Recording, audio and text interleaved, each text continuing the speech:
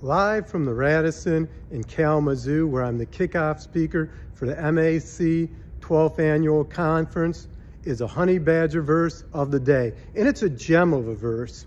It's Psalms 126 1. When the Lord brought us out of captivity, we were like men who dreamed.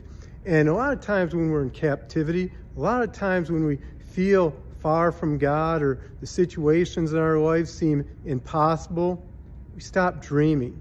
Sometimes we feel like the dream has died when we've gone through a desert or gone through a captivity time. And in my life, my captivity time when I felt far from God was 2006. I was working part-time for a moving company and all the dreams that God put in my heart seemed far away. And I knew that God had spoken me to me to speak to the multitudes, to be a minister of the gospel. And during this season, I sought God. And in April 2008, God spoke to me and gave me a plan and said, You're going to speak to many people. You're going to bring the gospel. You're going to do amazing things.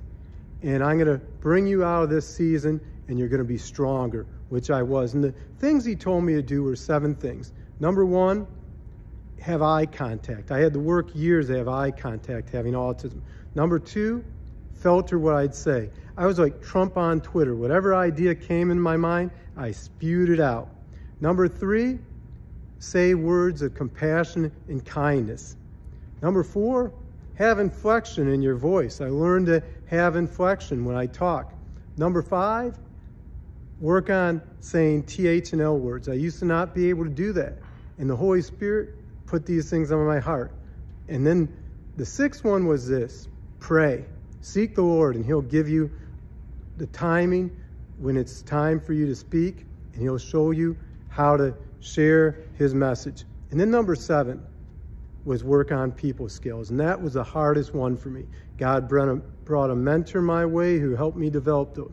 And when I came out of this season, I started speaking to thousands of people. I started being able to share my message of autism. And God's opened up even doors like today to be the kickoff speaker in a major conference. I've been able to speak to over 250,000 people live since 2015. And I want to end on this thought. Ephesians 3.20 says this, Now to whom is able to do immeasurably more than we ask or imagine, according to his power that is at work within us. And I want you in the comments below, share a time that God did something amazing in your life. Share a testimony you have of the goodness and love of the Lord. And I can testify today, as I speak today, that God's opened up doors I never thought possible.